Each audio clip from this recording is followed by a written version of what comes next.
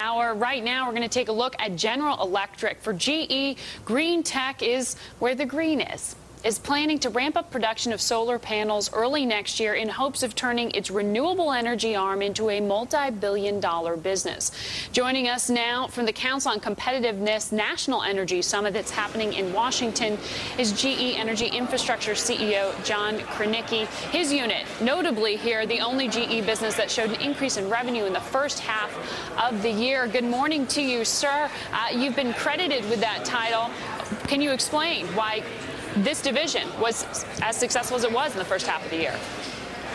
You know, we run the business for the long term. Uh, we've got great technology. We've got great teams uh, deployed around the globe. 70% of our business is outside the United States.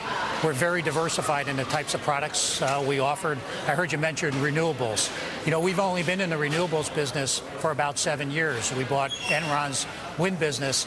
Today, we're the number one player in renewables in the United States. One out of every two wind turbines that ships in the U.S. is a GE machine. Mm-hmm. So we're capable of scaling these new businesses. We're going to do the same thing in the smart grid area. And uh, our capability to evolve and change and, and diversify is what propels this, this franchise forward. Uh, you mentioned that, that acquisition of the wind business from Enron. Morgan Stanley this week calling that the best acquisition in GE history since you only paid 300 million for it, and now the business is pulling in six and a half billion in revenue. It's fairly high margin business, um, but it speaks to sort of a broader conversation that's happening about General Electric right now. GE was seen as an industrial during the crisis. People started to think of it as a financial. Are you seeing now, sir, that people are once again interested in the infrastructure, in the industrial portion of General Electric's business? I would tell you we're totally focused on our customers and and uh, governments around the world. You know, many of our customers are government entities. For instance, we're doubling the electricity in Iraq. We just announced last week the largest order in the history of Kuwait. Mm-hmm. So there's high interest. Uh, we enable uh, higher standings, uh, standard of living for people around the world. There's a lot of money in the energy sector, so our we're not distracted at all. It's full speed ahead. And we've been playing offense in this space for a long period of time, and if anything, we're just going to we're going to double down going forward uh, as as the strength and diversity of our franchise uh, delivers. You highlighted the Middle East there. Is that the largest area that you see in, in terms of uh, potential growth, or is it, as most people uh, seem to be gesturing towards China, that's going to be the next story? You know, we're active in all sectors. Uh, you know, in the Middle East, almost 60% of electric power in the Middle East is generated on GE equipment. But there we do very well in oil and gas type generating equipment. Um, in China, we're localized in uh, in, in renewables. We have wind production there.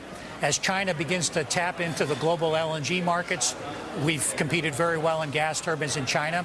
So we see that as a, a great market. And these things tend to move around over time, mm-hmm. but we plant flags for 50 years. So we're in China, we're in Russia, we're in Latin America, we're United States is still very important to us, Western Europe. And uh, that diversity allows us to fund R&D and scale these businesses and be a leader in virtually most of the areas we choose to play. Uh, within China, though, there, there has been some noise in terms of that government having a, pr- a preference for locally owned, locally produced products that are manufactured there. Um, as being an icon of American business, how does that hurt conducting business in that you know, country? We, we localize, you know, so uh, we manufacture wind turbines in Pensacola, Florida, Greenville, South Carolina, and also in Shenyang, China.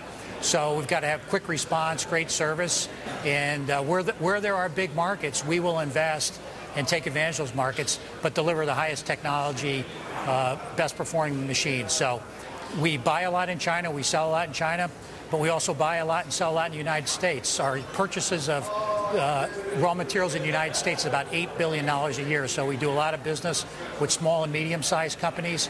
But as we export these machines to world markets, uh, we pull a lot of people along. So th- the export nature of our energy franchise, I think, is good for the United States. All right. Thank you so much. GE Energy Infrastructure CEO John Krenicki joining us live from Washington, highlighting wind as uh, the future there of alternative energy.